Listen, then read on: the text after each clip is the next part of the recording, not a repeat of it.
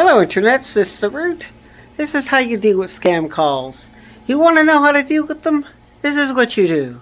You get a scam call. It doesn't matter where you're in the world. Russia, Europe, Sweden, United States, UK, Canada, whatever the fuck. Anywhere in the world, even China, Japan, India, anywhere. It does not matter.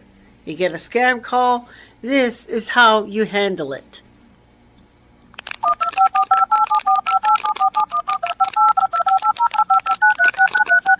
You see how annoying that sounds?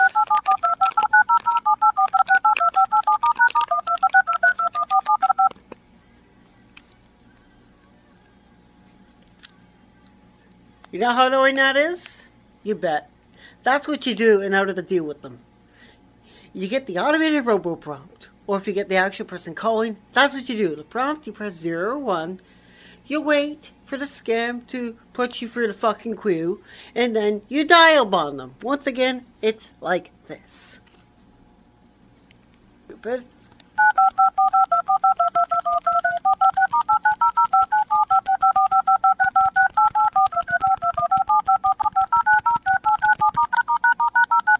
That's how you get rid of them. And that's as simple as it is. You dial bomb them. It doesn't impact your carrier. It doesn't impact your phone.